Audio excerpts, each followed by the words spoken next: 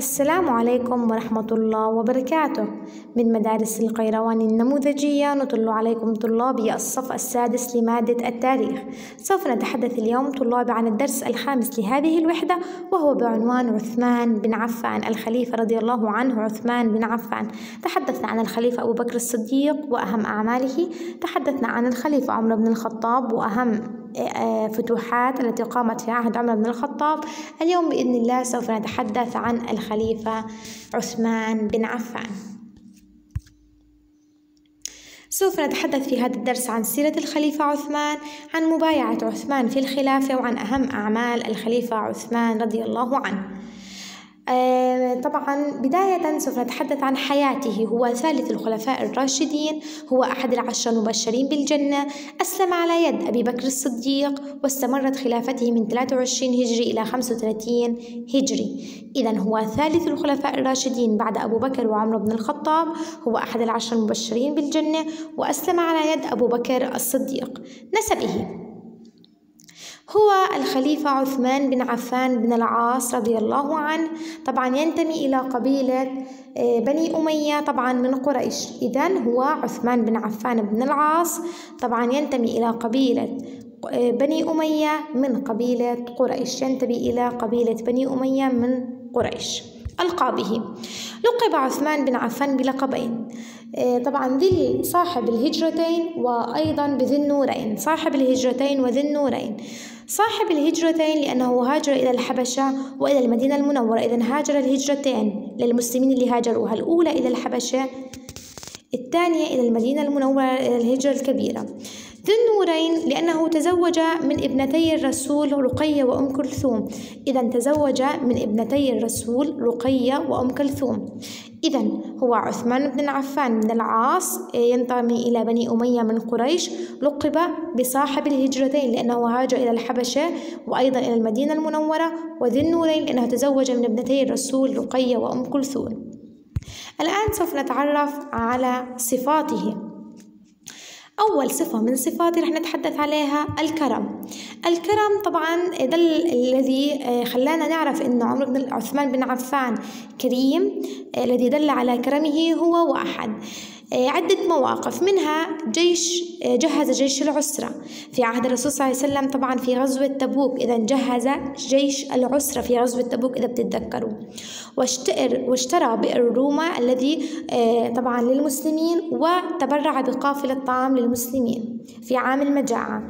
إذا جهز جيش العسرة واشترى بئر روما وتبرع بقافلة طعام للمسلمين في عام المجاعة. الصفة الثانية الحياء. كان كثير الحياء والخجل. العدل الفطنة أو الذكاء تسمى. الحلم والتواضع. إذا كان لديه الحلم والتواضع. إذا أهم صفاته الكرم. وحكينا في مواقف دلت على الكرم. جهز جيش العسرة واشترى بئر وتبرع بقافلة طعام للمسلمين في عام المجاعة. الحياء العدل الفطنة الذكاء والحلم والتواضع. الآن سوف نتعرف على مبايعته في الخلافة.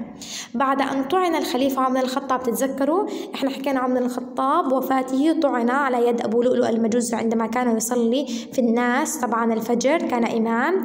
آه طبعا استدعي ستة من الصحابة وهم الباقون من العشرة المبشرون بالجنة. إذا استدعوا آه الصحابة الستة من العشرة المبشرين بالجنة وطلب منهم التشاور لاختيار واحد منهم لتولي الخلافة. طبعا فوقع اختيارهم على عثمان بن عفان ثم بايعه المسلمين طبعا بعد أن تشاوروا أهل الشورى واتفقوا عليه. طبعا بايعه المسلمون ببيعتين عامة وخاصة عامة من عامة الناس وخاصة من كبار الصحابة. إذا بعد وفاة الخليفة بن الخطاب نظروا إلى الصحابة اللي كانوا مبشرين بالجنة اختاروا منهم عثمان بن عفان طبعا وبايعوه المسلمون على الخلافة. الآن سوف نتعرف على أهم أعمال عثمان بن عفان. طبعا قام الخليفة عثمان بن عفان أثناء توليه الخلافة بالعديد من الأعمال الهامة من أجل تنظيم أمور المجتمع الإسلامي منها واحد إدارة الشؤون الدولة المالية. إذا إدارة شؤون الدولة المالية ولكن بسبب الفتوحات البلاد المفتوحة عين ولاة في المناطق الجديدة. إذا هو كان يدير شؤون الدولة ماليا وبسبب الفتوحات الإسلامية كان عندنا كتير مناطق مفتوحة. عين ولا طبعا ولا بنوبوا عنه في المناطق المفتوحة.